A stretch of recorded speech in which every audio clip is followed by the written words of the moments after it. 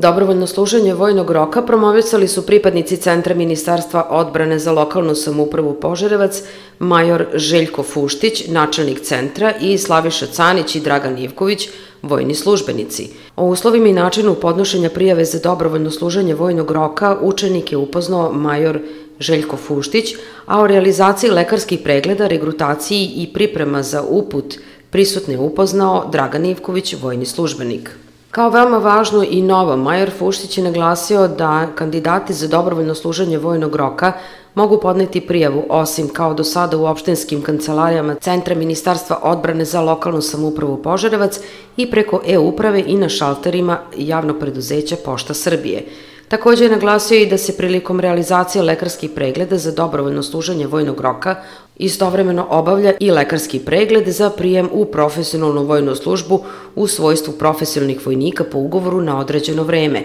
tako da odmah po završetku vojnog roka počinju da rade u jedinicama Vojske Srbije. Pored navedenog, novčana primanja vojnika na dobrovoljnom služenju vojnog roka povećana su tako da mesečno iznose 35.000 dinara. Majer Fuštić je učenike upoznao sa aktivnostima koje ih očekuju nakon javljanja za dobrovoljno služenje vojnog roka u centrima za obuku, vrstama i načinu obuke, uslovima za podnošenje molbe za prijem u profesionalnu vojnu službu u svojstvu profesionalnog vojnika nakon završetka, formacijskim radnim mestima na kojima bi bili raspoređeni, novčanim primanjima za vreme služenja vojnog roka, kao i novčanim primanjima nakon prijema u profesionalnu vojnu službu u svojstvu profesionalnog vojnika. Pripadnici Centra za obuku Kopnene vojske Požarevac odgovarali su na postavljena pitanja učenika.